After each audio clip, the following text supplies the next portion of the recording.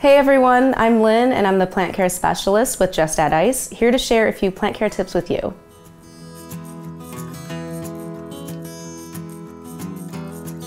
In this video, we're going to look at what to do with your flower spikes when they are pretty much done.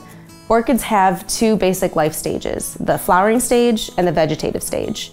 When your blooms are wilting and falling off, that means that your orchid is ready to enter its vegetative stage, where it's gonna spend a lot of time focusing on leaves and on roots. As you can see, our orchid here, the blooms are starting to wilt and they will eventually dry up and fall off. Before the spike turns brown or yellow though, we can actually trim it and try to get a few more flowers out of it. So what we're gonna look for are the dormant nodes on the still green flower spike. Your nodes are going to be the scale-like growths on the spike where flowers did not grow this last round. After you locate the topmost node, we're going to trim above that about one inch using a set of sterilized scissors. You can dip them in something like rubbing alcohol or a weak bleach solution just to prevent the spread of disease. Our top node is here. We're gonna go just above it.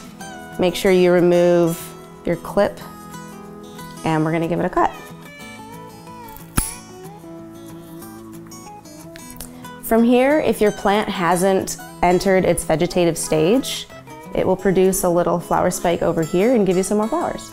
Now we can do the same with the other two flower spikes, but it's really gonna be your decision. If you want your plant to focus on quality and not quantity, you might wanna take these other two spikes down. I'm gonna go ahead and take the small one in front just because it's smaller.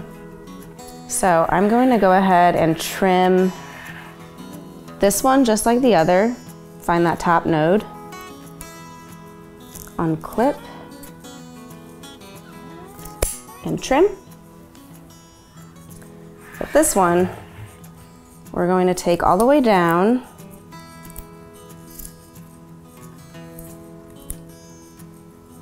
just down to the base of the plant where the leaves are coming.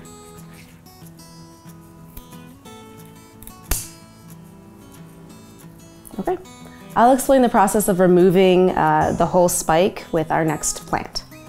Now that we've trimmed the spent blooms on this plant, hopefully it's gonna produce some more flowers for us. If not, we have to trim the spikes all the way down to the base of the plant, which we're gonna talk about with this one. Remember, since you're moving to a new plant, sterilize your scissors before touching this plant. As you can see, this spike is turning yellow and then brown, which means that it's not gonna produce more flowers. So we're actually gonna cut it all the way down to the base that way this plant can actually focus on keeping these flowers around longer.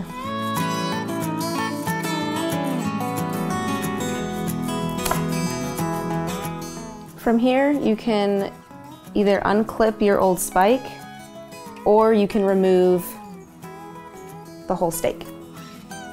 I'm Lynn, the plant care specialist at Just Add Ice. I hope that this information has been helpful be sure to check out our website and our social media pages for more tips and tricks regarding your orchids.